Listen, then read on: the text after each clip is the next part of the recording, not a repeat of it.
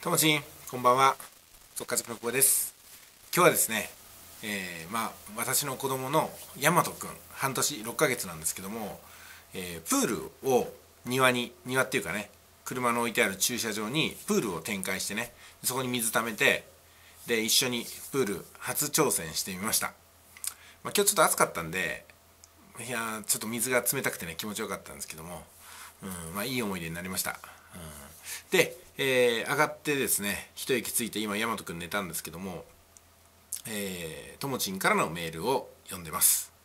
えー、ブログの進捗状況ですよね。1ヶ月続いてるんですよね。まあ収益にはなってないかもしれませんけどもまあ1ヶ月ではなかなか収益にならないところとあとアクセスをしっかり集めていくことと収益を取ろうと思ったらやっぱりね物を売っていかないといけないんですよね。積極的に商品を紹介していくサービスを販売していくってことになりますよね。まあいずれにしても途中で投げ出さないようにちゃんと収入が得られるように頑張るということなんで、えー、なんでこれ売り上げにつながらないのかなとか何でアクセスになっていかないのかなってことがもしねありましたら私なりにまたあのアドバイスさせていただきますので困った時はお尋ねください、えー、それから椎の木安原シリーズですよね。はい。やってますね。いいですね。あのアフィリエイトで収益を得る時ってブログを書いてそのサイトのねアドセンス報酬をいただくっていうのがやっぱりこうロングテール王道なんですよ。で瞬間的に売り上げ欲しい時とかスタートアップの時の資金が欲しい時とかね売り上げの実感が欲しい時は自己アフィリエイトっていう方法がありますんで C の気圧されるシリーズを上から順番にやってみてください。まあサイポンもね結構いいですよね。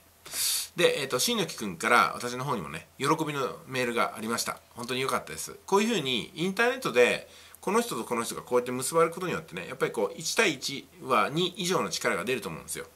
でそういうところをそういうところをね どんどん使っていきましょう。特に私の速稼塾っていうのは出会わせるための演出をねかなりしてますんで、えー、ご縁をね大切にしていっていただきたいと思います。きっとね椎野木君も力になってくれますよ。